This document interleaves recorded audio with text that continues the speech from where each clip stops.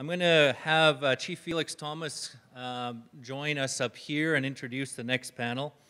Uh, as mentioned, Chief uh, Felix is a tribal chief of the Saskatoon Tribal Council and chair of the First Nations Power Authority. And so he is up here ready and raring to go. And I'm going to get him, as our panelists make their way up here, uh, to introduce, and he'll be moderating our, our uh, panel this afternoon. So, with that, Tribal Chief.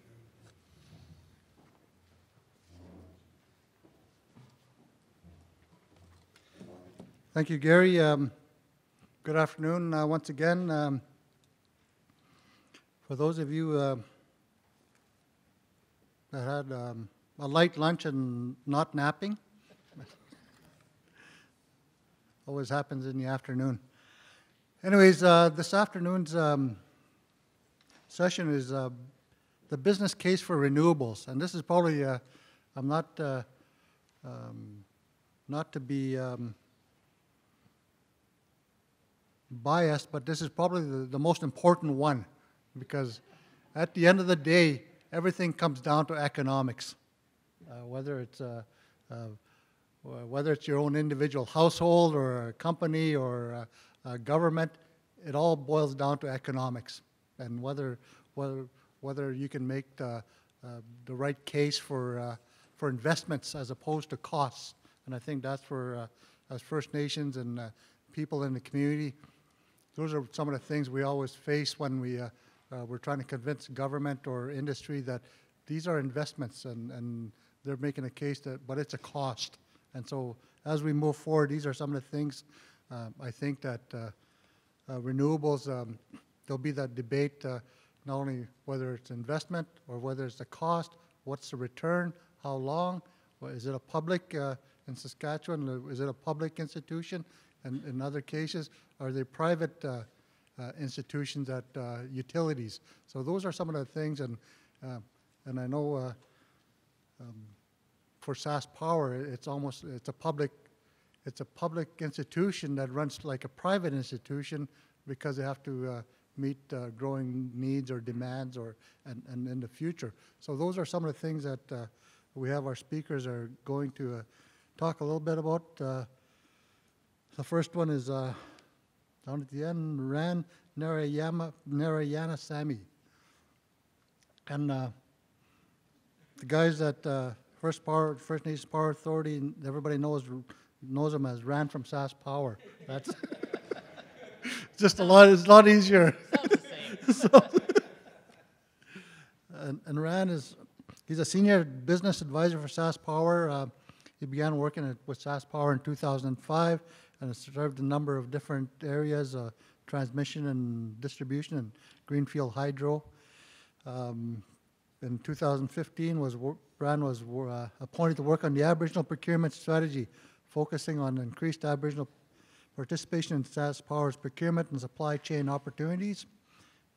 And uh, he holds a Bachelor of, uh, Bachelor of Engineering degree from the University of Madras, India, Masters of Engineering, Masters of Business Admin from the U of R, a Master's Certificate in Project Manage Management from York University, and a registered professional engineer.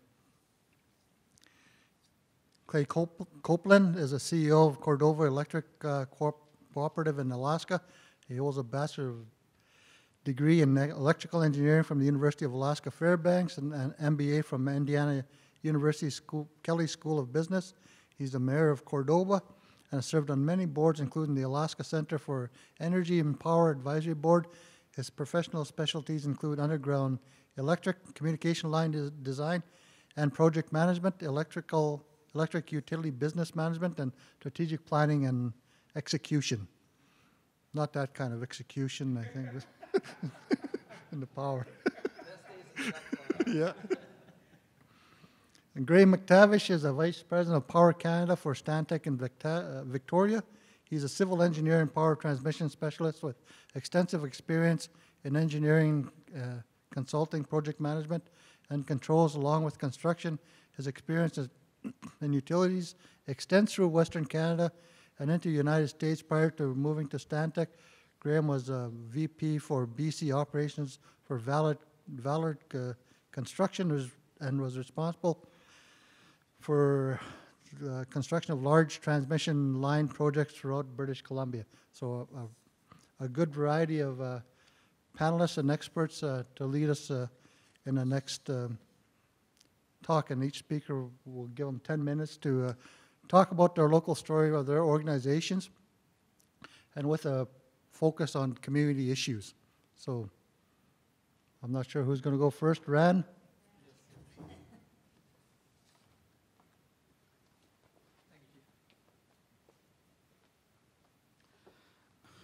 Good afternoon, everyone. Uh, I know after lunch, uh, even I'm trying to wake up, so I want to wake you, uh, wake you guys up with a small joke. Uh, I was in Sandy Bay uh, three years back, and we had a really good uh, consultations meeting going on with our you know, First Nation friends, and there's someone stand up and said, "Hey, good to see Indian working for Indian." I said, "Who is the real Indian here?"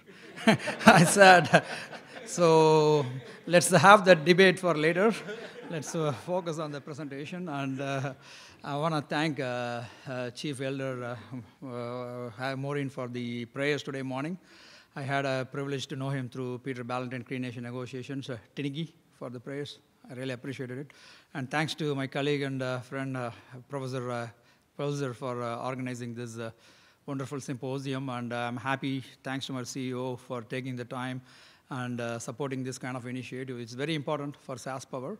And uh, from uh, here, you can see from this uh, picture, like um, Elder Maureen mentioned about, you know, like, like Peter Ballantyne Cree Nation members were working on their transmission line cutting. So that's a perfect example of what indigenous uh, community and members can do for uh, uh, Saskatchewan and SaskPower. So that's what I want to put the picture in, showing that you know there is a lot of opportunities for indigenous communities and business arms in Saskatchewan. So going into that uh, presentation, what happened? Did it screw it up? Sorry. Okay. Yes. And um, thanks. So, uh, like we talked about business cases here, right? So, you can see some of those. Uh, these are the big buzzwords everybody's talking about. Renew renewable energy creates uh, job growth, uh, energy independence, and uh, you know there is attracts big money. When I did some research, there's almost like uh, 287.5 billion in 2016 was invested in renewable energy across the globe, and also we talked about a lot of panels today morning. It was very interesting panel discussions.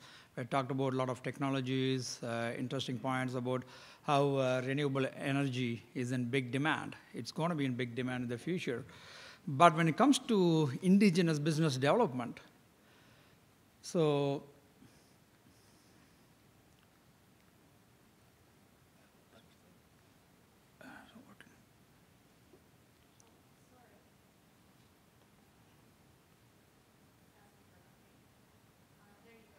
Okay, thank you, Megan.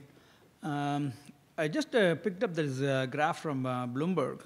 So you see the 2016 investment, it's lots of billions of dollars. So uh, anyone can think how much of this, even 0.001% of it, invested in indigenous communities?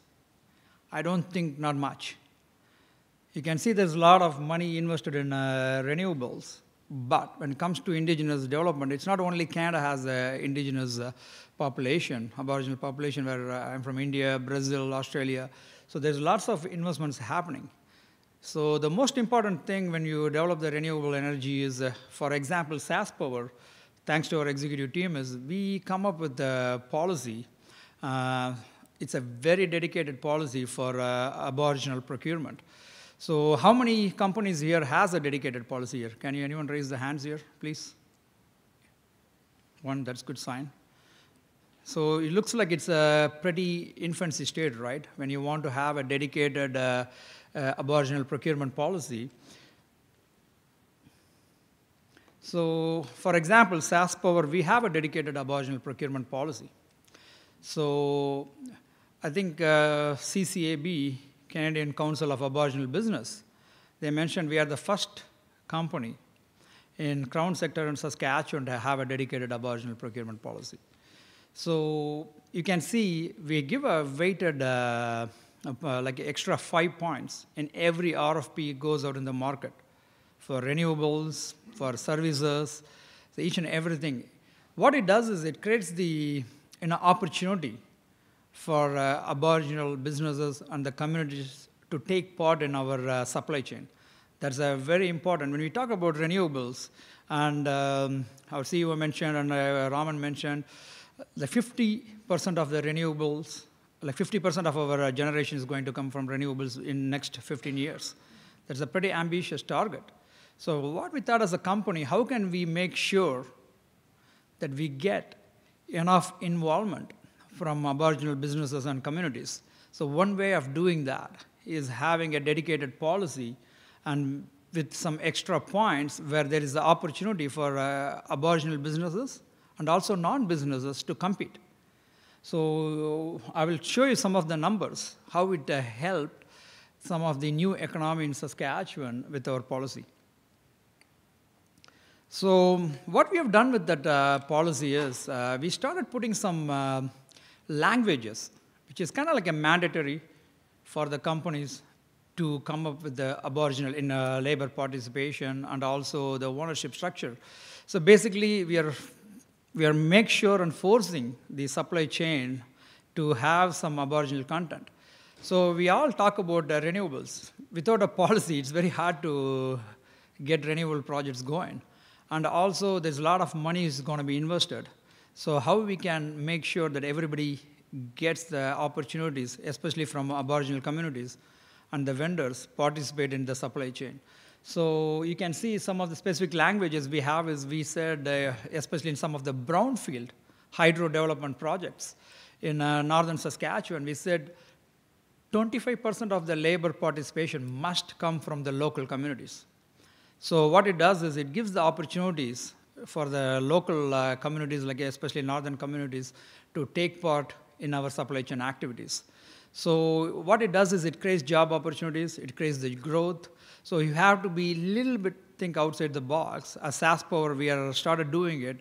And what it does is even from our suppliers, they are saying it helps them to give a very value-added services because they're getting a local uh, people working and they're saving money on LOAs, living out of, uh, living out of uh, cost allowances, and also they're uh, preparing a capacity in the northern community where they can bid more work with us and with the different companies. They no need to worry about the labor shortage because they can find opportunities with the local uh, communities where they can build that capacity together. So this policy really helped SaskPower to navigate in our brownfield, and also we have this uh, language in our uh, greenfield developments. Like you see our uh, solar RFPs and wind RFPs, you will see those languages. So the, uh, whoever bids into that uh, our RFP, they have to come up with the proper strategy. They have to do a proper consultation with the indigenous communities to bring that, their renewable energy bid to us. So it's a very good uh, opportunity for both sides. It's kind of like a mutually beneficial. And um, I just want to talk about these numbers quickly. So we had a target of 2.5% uh, of our capital spend, like Saskatchewan capital spend, focused towards just uh, Aboriginal procurement. So last year we hit almost 7.9%. And um, the, actually, as a company in SaskPower, like our operating business units and uh, executives and the directors and managers and engineers, they see this as a very valuable policy because they're able to get local people doing the local work. It doesn't matter whether in a greenfield development or brownfield development or services or line cutting, everything. So we are having a lot of value-added work coming from our local communities. So that's a big win-win for us. And also you can see from the numbers, it's, it's kind of like a, I will say that the Aboriginal economy is an untapped economy for Canada, especially in Saskatchewan. That's a new economy. So if whatever, as a company we are developing, we have a policy which where we can use this policy to work together with the local communities and create the win-win opportunities. That's kind of like a kind of like a policy. You can see how policy drives the infrastructure development. It, it has to go mutually beneficial. So we have a policy which is strong, and also which is kind of like uh, how do you say that uh, we are the first company to do it. We do have a growing pain and uh, definitely, but it's the right thing to do. And uh, again, a lot of people talked about today morning about capacity development. It's kind of like a chicken or egg thing. Whenever I meet with uh, indigenous businesses, they say, we, we don't have enough job to build a capacity. And SaskPower say, you don't have a capacity, so we can give you a job. So end of the day, we have to come to the common ground in the middle. Let's work together. So we start identifying some projects where we are small, giving them uh, aboriginal entities to take on and build some capacity. So today morning, there's a lot of discussion about capacity. So it's very important, capacity development. So for SaskPower, we are using this uh, one to do that. So by, by this one, I'm done with my presentation. And uh, thanks, Gary. and uh, anyhow, uh, I'll take the questions in the end. Yeah.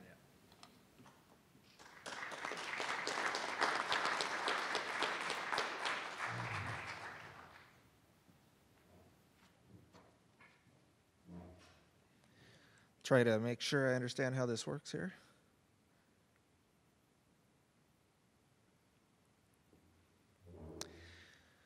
Capacity. So, uh, one of my favorite quotes is um, actually an adaptation from Samuel Clemens. It says, You learn lessons carrying a wolverine by, around by the tail that you can learn in no other way. Uh, but I, I think something else happens, though. You learn how to wrestle wolverines, or you end up with a lot of you know, bad marks. Um, so um, before I get into this, I just want to kind of, uh, I guess, share my thoughts so far from what I've heard. The great thing about going in the afternoon. Can you hear me okay? Is that better? Uh, the thing I like about the afternoon is that I get a chance to see the other presentations and start to get the pace and the feel for what people are looking for and, and what we have to offer and share. Uh, I really appreciate, on behalf of the native village of Eyak, the ancestral homeland um, in Cordova, and the community of Cordova, the invitation to participate here. Um, of course, expecting to learn much more than, than I share, but um, I've tried to keep the presentation fairly simple and with some pictures, and there'll be actually examples, I think, to share some of the thoughts that I've collected so far.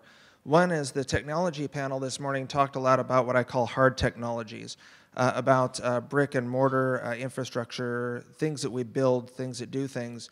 But in listening to um, the first presentation this morning, Mira mentioned that one of her challenges in developing renewable energy um, projects in her villages is siting the project. That's kind of amazing when you think about it. Uh, this is a village that's going to benefit from the project, and just them deciding where to put it is one of the barriers. It's one of the challenges. I thought that was interesting. And then Ethan's example of, uh, you know, really wind turbines are a mature technology at this point. The construction's fairly straightforward. It has its challenges. But the, uh, the real challenge was getting the Federal Aviation Administration to do something they've never done before and allow some contractor to do that and bite off on it. That's a huge success. And that's just one little step in the progression. But those, those aren't hard technologies, those are soft skills. Those are getting people and organizations to work together and do things they haven't done before towards a common purpose. And um, I think the soft technologies are where a lot of the challenges and, and a lot of the capacity building has to happen. Um, so Cordova, I'll share a different background than what I prepared. Uh, Cordova's had a lot of disasters, starting from a fairly successful indigenous culture that was, um, you know, decimated and subjugated, uh, and then a series of external disasters, starting with um, the rise and fall of a huge uh, railroad mining empire that built a huge economy and then collapsed something like um, uh, is happening in Alaska now with our oil industry. Uh, and then a huge razor clam industry that was a world leading industry that grew up over the next couple decades, then was decimated by a 1964 earthquake that raised all the ground eight feet and decimated the clam beds. Then a huge salmon industry that built into uh, a world class uh, fishery, year round fishery, that was pretty much devastated by the Exxon Valdez oil spill. Um, these are all external disasters. And I think it did kind of a unique thing to Cordova, uh, which is kind of a, a, a, community of independent people. And, and when you're influenced by a lot of external disasters, I think it triggers a fight response rather than a flight response. And so it's a community that has dusted itself off and keeps reinventing itself not in a survival mode, but in, an, in a way that excels. And so it's just been fascinating for me to live there and participate in that. It's what attracted me to the community in the first place It was a tremendous vision and, um, and execution by this unlikely out of the way place. So um, hard versus soft technologies. And then um, innovation, uh, I think, is born in the Arctic. I think innovation is born of lean resources and need. And uh, that's where you have to use what you have available and you have to use it in ways that they haven't been used before. So I don't think the Arctic is a testing ground for innovation. I think it's the birthplace of innovation. And I think we need to find our way back to some of the innovation that had things like just at lunchtime we were talking a seal oil lamp was a combined heat and light resource. And now we're just starting to rethink um, using one piece of infrastructure to deliver several value streams. Um, academia, and uh, this is just a couple observations, academia and the utility industry both have something in common. Uh, we're mature monopolies, and maybe a couple of the la last uh, left standing. And um, that means we have tremendous, we marshal tremendous resources and skills and uh, financial uh, capabilities, but it also makes us fragile because we're being disrupted by forces outside this room.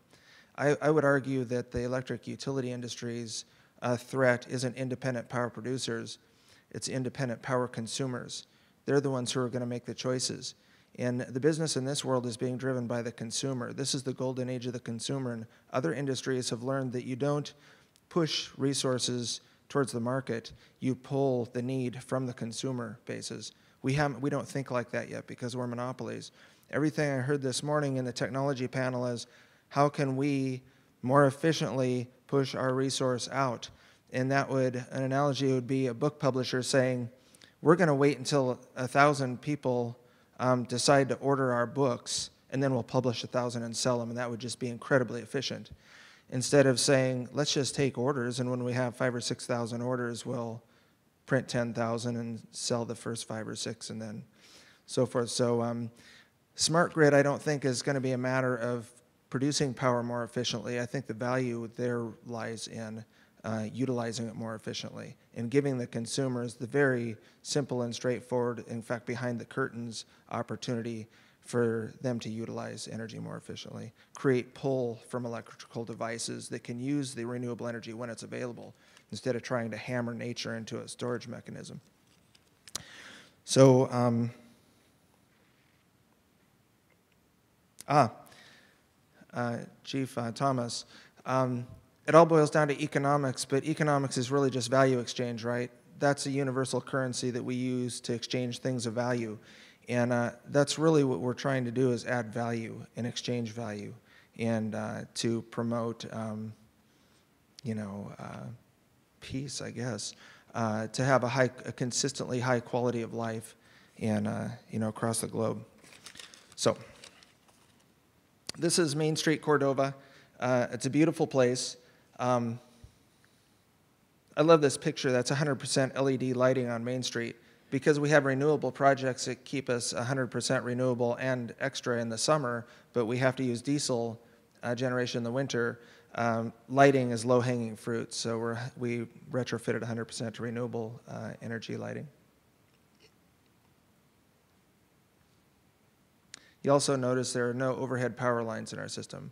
We're 100% underground power lines. Okay, so um, Cordova is remote, and it is an indigenous community, about 20% uh, native village of Eyak. And um, we have a tremendous relationship with the tribe, uh, the utility, electric utility does. And I wanted to mention that's another thing that uh, tribes and academia and utilities have in common is uh, we all have the long view, right? Electric utilities think in decades, terms of decades, uh, eh, for infrastructure development and return on investment. Academia thinks in terms of gathering and preserving and extending knowledge over the, I guess, course of human history, and certainly investing in individuals' life, you know, lifetime. And, um, and then tribes, of course, think in terms of generations. So I think that's why uh, we as electric utility, our strongest partner by far, and, the, and I hope a strong partner to the tribes, is, um, is that we have the long view. And we think in terms of just value and not bottom line. Okay, so um, you've heard a little bit about a cooperative. A cooperative's business model is a little bit different. It's owned by the customers of the utility. It's governed by a locally elected board. Um, we measure our success in terms of how our community succeeds. Uh, it's a non for not for profit business model, and um, I mentioned our planning horizon spans decades, and so we're we're value driven, not just uh, cost driven or profit driven. So we think in terms of how can we provide value to the community, and you have to know what that value is and what your community wants to get there. So every community has a diversity of needs public safety, energy and transportation, culture and recreation, education and training, public health. And um, one place where you all agree is that you basically want to have a, a common social good, a sense of community. You want to have a sustainability. Every organization is trying to sustain itself, and you all want to have a decent quality of life where you live and work. So Power Creek, our Power Creek Hydroelectric project is something that drug me through this thought process. Uh, and it's a project that we renew, that we developed with the perspective of a utility. How can we uh, meet the big three? The uh, provide reliable power, provide low-cost power, and provide abundant power. And that's how we started out. But then all these other value streams kind of happened. Again, in a lean resource environment, we had to have partners to develop it. And uh, the tribe was right there at the same place as a utility. Uh, we were basically bankrupt as a utility, and the tribe was almost ba- bankrupt. So we were forced to work together. We'd been at bitter odds on other uh, things, and, uh, and the project really elevated both organizations. So the project is sited on tribal lands, and then we lease that land from the tribe. So that created a huge revenue stream for the tribe. They were able to take that to the bank and uh, finance their 8A organization, and they're over $35 million in equity now. And the electric utility now has over $35 million in equity for our members. So we've really taken both organizations from the brink to a, a whole new place. So um, ultimately, Power Creek um, delivered a whole bunch of value streams. Because we made such a huge investment of $24 million in that project, we thought, what are all the ways that this can benefit the community? And frankly, there was quite a bit of criticism in the community. And uh, so we take our high school groups for tours of the power plant. You know, we're always saying, how can we get kids more involved in energy? Well, here's, a, here's an idea. Take them out to your project and let them see that that's, uh, you know, producing all their community's power in, a, in a way that they can make a physical connection. This water flowing out of the plant is making all your town's power right now.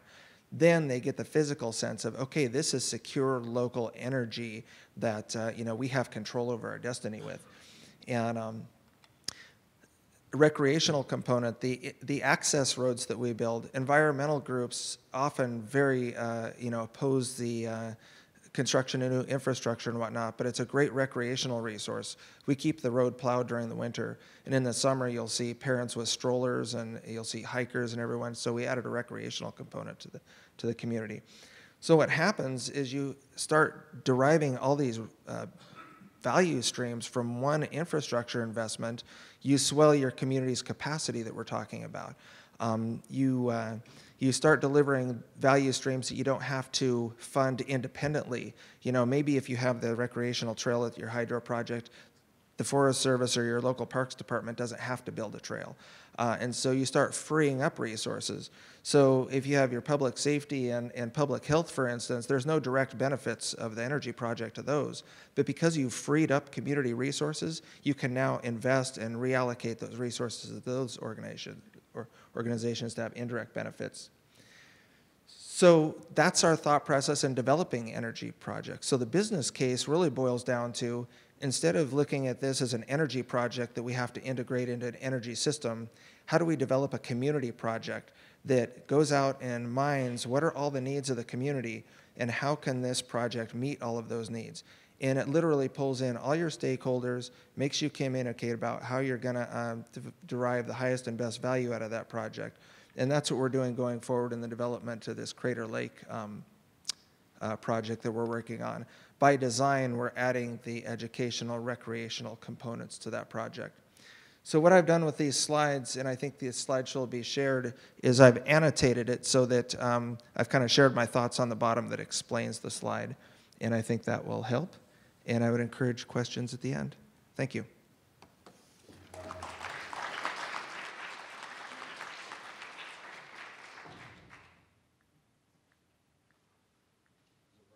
It is working. Which one, just, uh, advance? Yeah, Hopefully won't need that. Good afternoon. Did realize on the weekend I made one fu- fundamental flaw of PowerPoints. I made it too long for too short a time, so um, I'll have to go through these pretty quickly um, once we get them up here.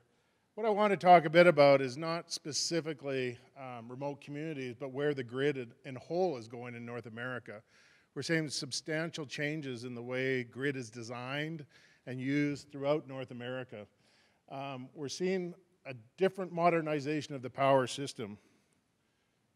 Uh, well, first of all, I have to do our who we are. Stantec. Um, so we're 22,000 company, 22,000 people uh, on the New York and uh, Toronto Stock Exchange. We have more 400 locations worldwide.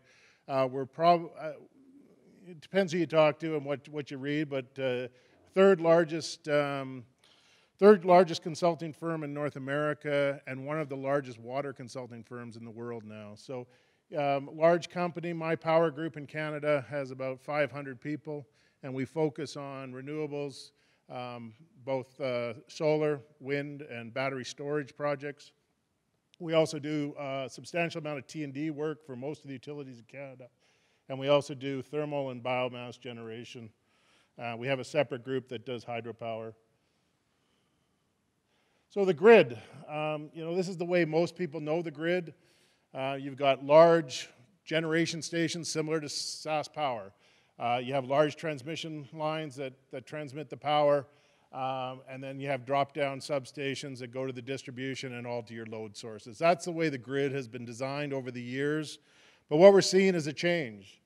Um, where is it going? We're seeing more of this distributed energy, more of um, more smart cities and, and different types of focus on, on renewables and, um, and, and hydro and, and the controls to have a smart microgrid system. And why is that happening? Well, what we're finding, especially down in the East Coast and some of the Caribbean, we're seeing a difference. People want resiliency, they want sustainability, they want power now, and they want it, uh, a stable power source. And what we're starting to see is they're going away from the, the, the, traditional utility and going more towards what we see as more of a distributed energy. So, what's driving it? Really, it's the emergence of microgrids. And, and I could probably talk to 10 different people in the room. Everyone will have a different definition of what a microgrid is. But really, it's a microgrid is um, it's, a, it's a distributed generation. I think I got a you know, it's a discrete energy system, distributed generation. It could either be connected to the grid or islanded to, to, all to itself. And a lot of microgrids will be designed that it can be tied to the grid to sell power or to buy power whenever they need, but it can also be islanded, so it can be self-sufficient. So if there is a hurricane or a major storm, they can, they can be one amongst themselves. And we're starting to see it not just at a city level, but at a hospital level. The universities are starting to put microgrids in. We're starting to see it through small communities. We're seeing it in the Caribbean, trying to get from away from oil and more, more on the microgrid type solution. Um, you know, your, your traditional backup di- or G- diesel generation, we see it, you know, some of our uh, remote communities could be considered a microgrid. It's a standalone system that really manages the, the electricity needs of the community. So, but we're starting to see changes to microgrid to go more to multiple sources of, of renewable power. Um, you know, we focus is now to, to lower the emitting uh, technologies and, and get technologies such as solar, wind, hydro, biomass, and thermal built into the grid.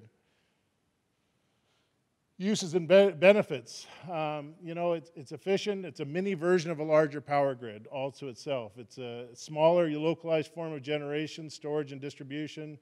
Um, it helps deliver lower costs, more reliable electricity, Storm resiliency, um, you know, if you're putting renewables, reduce pollution, um, community economic developments and jobs, and less, uh, you know, and, and um, less effect on, on your ecosystem. Um, provides resilience in events of storms and provides the ability of the grid congestion. Um, sorry, I went back one too many. So configurations, and they come in all different forms. And I do like the speaker this morning who said, you know, If you've seen one remote community, you've seen one remote community. If you designed a, a microgrid for one remote community, it's not going to be the same for every remote community. You're going to have a different efficiencies of wind, different efficiencies of solar, different needs. Um, you know, you're still going to probably need some form of combined heat and power, some ba- diesel backup. Whether you use that, that heat for uh, heating your, uh, your school or for, for developing a greenhouse or whatever you may need that heat for, you still can use that heat off the diesel generation. But then you also have your renewables and energy storage. So you can use your, your, um, your solar and your wind turbines and hydro specifically if you have it with batteries to provide you more resiliency with your grid that you have. Sorry. So solar, you know, what we're seeing is a big change in the solar um, over the last 10 years. Um, you know, solar is an abundant energy source. Um, it provides some energy security. Um, you know, we're seeing lower long-term energy costs, uh, definitely a lower environmental footprint, GHGs, and some of uh, the thermal generation, um, reduced harmful air pollution, and uh, you know, positive sustainability. So where's the market going? Um, we're seeing substantial increase in the solar PV market in North America. Um, solar energy now is, is running around 20%. Um, other renewable energy is, you know, that's what we're looking for in 2050. Right now, other renewable energy is 20%. We're seeing solar really um, non-existent when it compared to, you know, hydro and coal and other forms of thermal generation. But we are seeing a change right now. Um, CanSIA is looking at, um, right now in, in 2017, we probably have about 3,000 megawatts of solar on the grid. They're forecasting to see over 7,000 megawatts in the Canadian market. Substantial increase. Um, we're working right now, we just finished two 50 megawatt projects in Ontario, and we have about four or five other large solar projects. And what's nice about the large projects, it's helping to bring down the cost of the solar panels and some of the construction costs. So what we're seeing um, is a huge change in the market. This is the US PV pricing. Um, in 2007, you were up around $8 a watt, six, six bucks for utility grade. Uh, 2017, we're now starting to see utility come down under $2 a watt. So that's almost a third of what we saw uh, in 2007. Uh, residential, of course, is still higher because it's, it's a smaller amount of, of construction, so you're going to see a higher cost. But still, it's come down from probably, you know, seven bucks down to almost 350. And we're still seeing with all the solar production, we're going to continue to see those costs come down over the next uh, four to five years as solar increases both here uh, and the U.S. We're starting to do some solar in, in Mexico right now, and we're starting to see lots of stuff in South America start to go. And then new applications. Um, I'm not sure any of those are going to be immediate, but you know we are starting to see a lot of uh, requests to build solar onto water, um, whether it's a, a um, water treatment ponds or holding ponds for hydro, um, old tailing ponds for uh, for mines. We're starting to see a lot of, of need for different technologies that we can use the land appropriately and sustainable.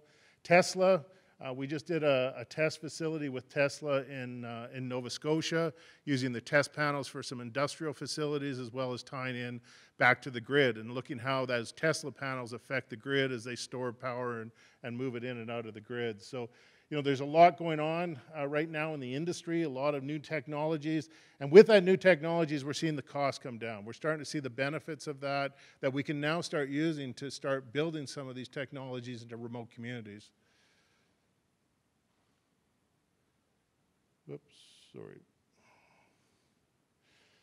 Battery storage is another uh, aspect. Uh, we have built uh, two battery storage projects in, in Canada. Um, we've got uh, a few more on the books right now that we're starting early design on. This uh, technology um, is really starting to uh, have a big effect um, on the utility industry, especially the distribution side. Um, and a lot of the storage that's being used right now isn't for storage of power, but it's really to be used to, to make the system stable for frequency and voltage control and, and as well as storage and using for peak power. We're seeing places like Ontario Uh, BC and Alberta starting to do it with a peak demand and they get charged at certain times a day. They're using storage to actually minimize that peak so they can actually minimize their costs and where that's going. But that again is helping as more storage is putting into North America, we're starting to see the battery prices come down substantially and we'll start to see this be become more economically benefit for stuff like um, the smaller scale uh, remote communities. I've been told I got to hurry up, so. So again, energy storage balances load against generation, provides uh, ancillary services to the grid operator with frequency voltage support, uh, supports the grid in weak areas. So if you know if the line goes down, you can provide some some time when the the storage can use to, for the power requirements, and it provides peak shaving in those areas for for load profiles and associated energy costs. So solar, PV, and wind and battery storage, um, you know, together they allow peak saving, load balancing, grid support, diversity of supply, and ensures local reliable power for communities, campuses, and buildings. Again, we're seeing that starting to be done in the Caribbean. We've worked on a couple of projects that have all three together. We're starting to see some remote communities start to look at these as an option, and tying them all together provides resilient power for you at all times. And again, what are these benefits for renewable energy in remote communities? Well, increased system resi- resiliency. Um, you know, primary source of fuel has been diesel. It's expensive, has high emissions, disruptive generators. Um, so we've seen high variable costs and therefore high electric prices that can deter economic advancements. And these microgrids can incorporate hydro, solar, wind to reduce or eliminate these diesel uses. And I'll final, finish up with, you know, environmental risks and high costs of diesel combined with continuing cost reductions in solar, wind, and energy is providing the opportunity for affordable, renewable energy alternatives in remote communities. And I think that's it. So, thank you.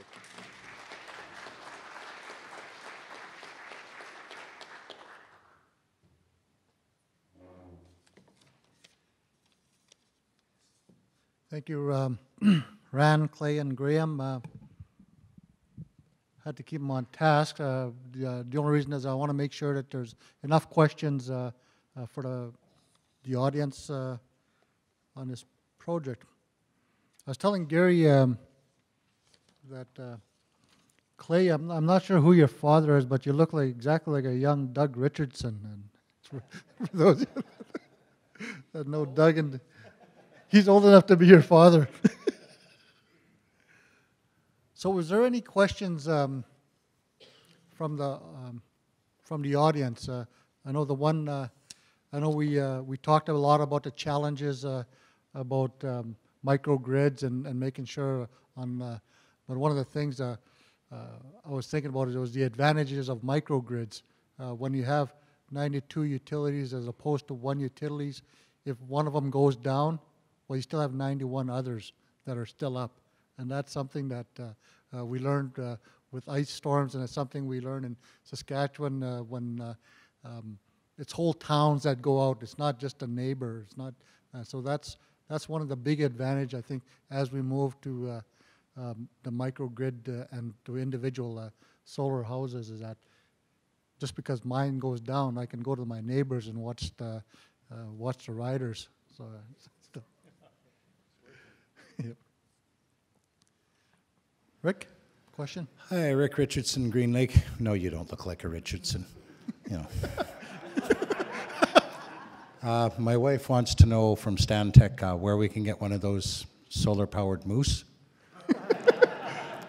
but um, I do have a question for uh, SaskPower, and that is, um, uh, since there uh, seem to be a, a need for policy and political change in order to uh, uh, allow for business uh, uh, cases to be made for renewable energy. I know in our community we're on a net metering program, which restricts us to uh, limiting the amount of power that we can generate off of one billing unit, which is uh, our community hall in our case.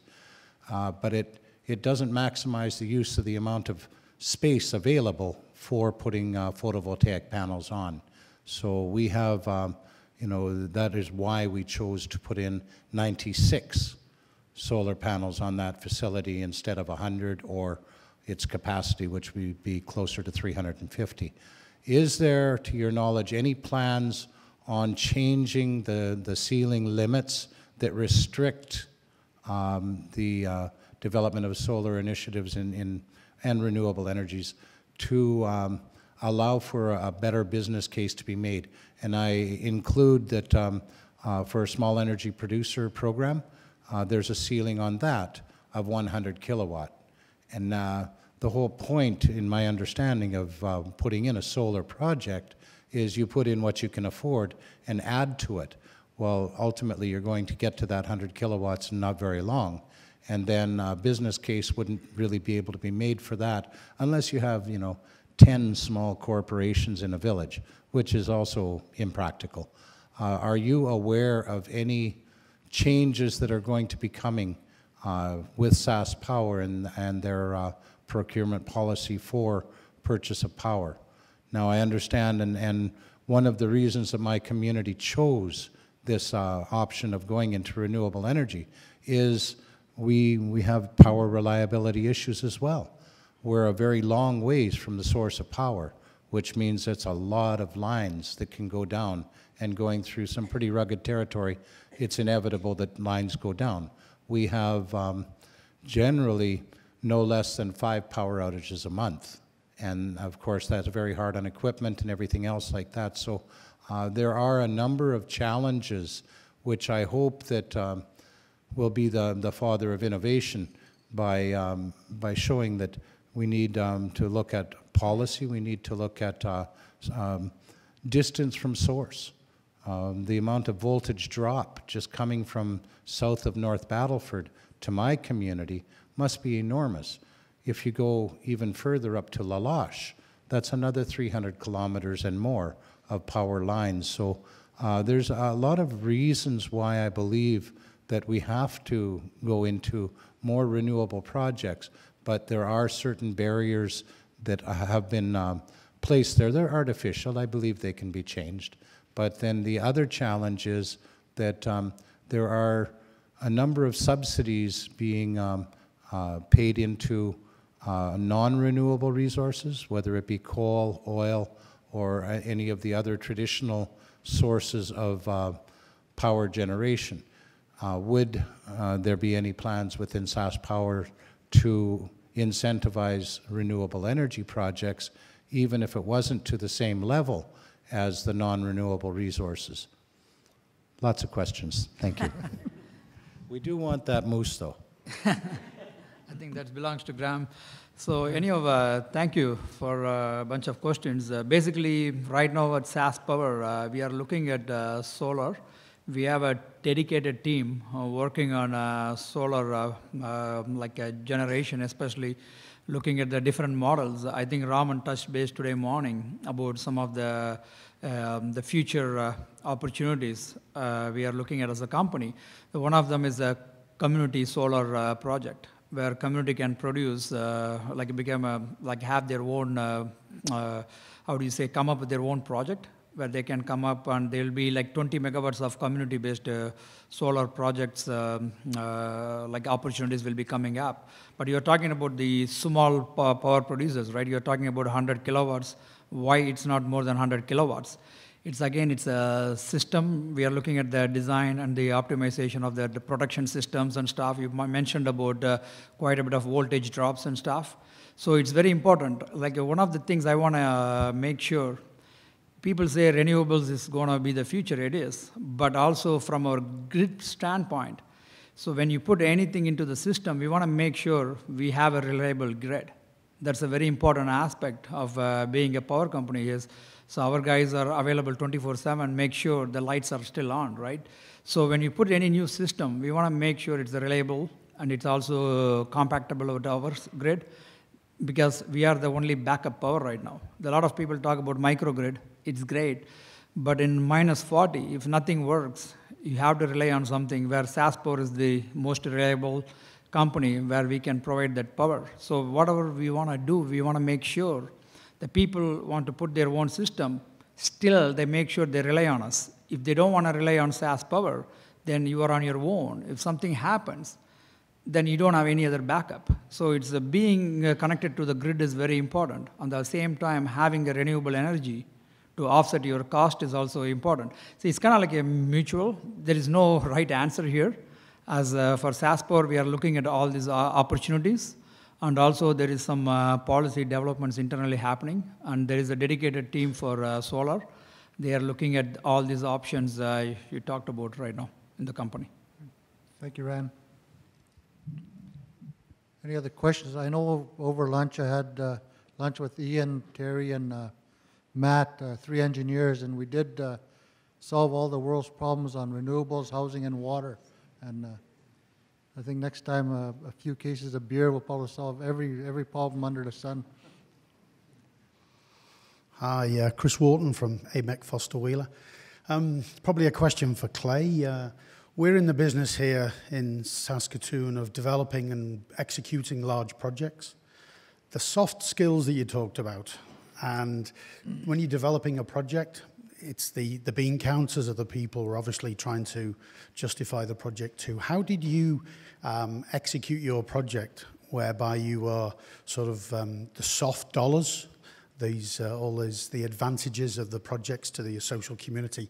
How did you justify a project in dollar terms when you're using the soft side of the justi- of the project? Clay? Well, if you um, if you bring in enough partners on the project, I mean, those value streams are going to not only share in the benefits, but they're going to share in the cost, right? So if you have to uh, have a, an emergency power supply for your hospital uh, that has to meet certain codes and criteria, and you're going to add grid scale energy storage to your community, uh, why not site that battery at your local community hospital and replace their 30 year old standby diesel generators with a battery? And then if that battery can also uh, replace um, spinning reserve that you're using renewables to provide, you've just expanded your renewable capacity by the amount that that battery is. So now you've got several different economic and social value streams that uh, that are contributed can contribute economically to the project. So uh, our Crater Lake project that I was mentioning, it was actually the city pursuing an expanded community water supply to meet the growing the growing needs of the uh, fishing community, our our industry.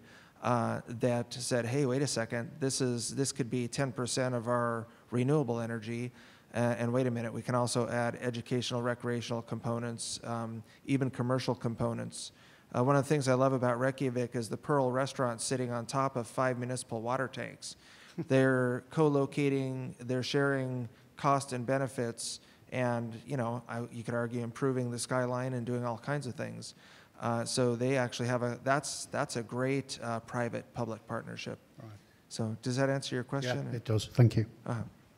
But uh, very specifically, and this is part of the grant writing piece, I guess, you have to know what success looks like to everybody. So uh, when we went to the Native Corporation, uh, the Eyak Corporation, the landowner, and said, hey, we want to develop this project, they saw a value stream, but we went to the federal government and said, here's, here's the value proposition.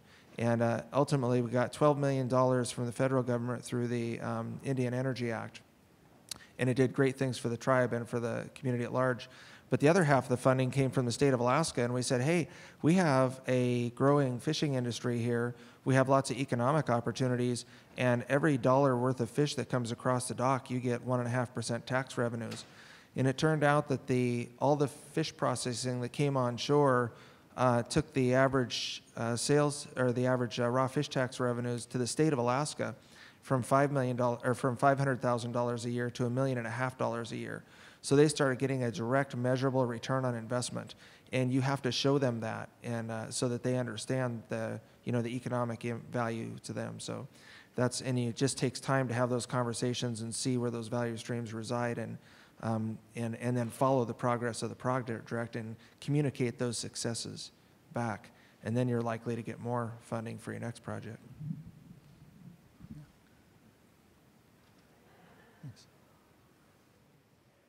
Any other questions? Kevin? Hi, thank you. Uh, Kevin Hudson, Saskatoon Light and Power. Um, this question would be for Graham. Um, just wondering, in, in your experience across Canada, how, how have you seen utilities uh, set prices for different types of renewable technologies for, so for example, feed-in tariff in Ontario for solar compared to an open pool in Alberta, that kind of thing. Well, it- it's changed, it's changed significantly in Ontario. Um, Five, ten years ago, they had the FIT program, which was fairly high prices on u- u- renewables. Now they're actually in an open market where you actually bid into a tariff and get your PPA. So that's uh, LRP one right now is going on. Uh, And, and we've seen the cost drop sub- substantially from what we saw in the FIT program to there. Um, In Alberta right now, they still haven't developed their, their, how they're going to market that, uh, the power yet. On the community, uh, solar side, uh, they do have, they're looking at 400 megawatts of wind right now. Um, And then in BC, you know, they went out for the PPA, Uh, Mike, you could probably help me better, but I think 2002, uh, developed a renewable portfolio, and then now they have a standing offer program, which up to 15 megawatts, you can put in up to 15, but you have to apply, and every year they have three or four projects that get selected based on the PPA for those 15 megawatts. We're starting to see some changes in, in Atlantic Canada as they're starting to get rid of their, their oil fleet and they're looking at options for, for wind and solar. But right now, I, there's really not uh, a substantial amount of, of, of wind and solar being developed in the Atlantic side. Um, and then Manitoba has a community development. I think they have some solar, but it's small solar. I think one just got put in for about a, I think it was less than 100 kilowatts that they put in on one farm um, for their uh, for their cattle. But that's that was pretty much the only solar they've got. Um, so yeah, it's but they're still seeing some in, in the Ontario market. The two we're working on are part of LRP one, and uh, those are two 50 megawatt units that um, that are being put into the power. Uh, they were bid into the power call, and they they won those. Thank you. We still have a couple minutes. Just want to make a comment in terms of uh, stability, in terms of ec- uh, the economics. Uh, Power is really important to that, and I know that uh, a while back, I was asking our uh, environmental health officers, they're sending out some boil water advisories, and I asked, well, is there something wrong with our, our systems and and our operators? And they said, well, it's not that, it's every time there's a power outage, you have to uh, issue a precautionary boil water advisory. So these are some of the things that affect northern communities, I think, more than uh, um, we have in the south. Uh, even though we have them in the south, you, multi- you, have a, you had to have a, a multiplier to those. And this is uh, these are the quality, quality of life issues that our northern friends um, deal with every day, and that's something that you know as we build these uh, uh, these systems, that's why they're important to have their feedback and important that the, the projects meet the lifestyle that's in, in that community. And like, like each one said, each, each of those uh, communities are different, and there's got to be some uh, flexibility in whatever programs that we have uh, as we move forward, and particularly uh, uh, for uh, a, a jurisdiction that has only one utility. So those things have to be built in, I think, as we move forward. If there's no other questions, I'm going to ask um, and thank uh, our panelists for this afternoon's um, discussion and uh, very informative, at least for me. Thank you.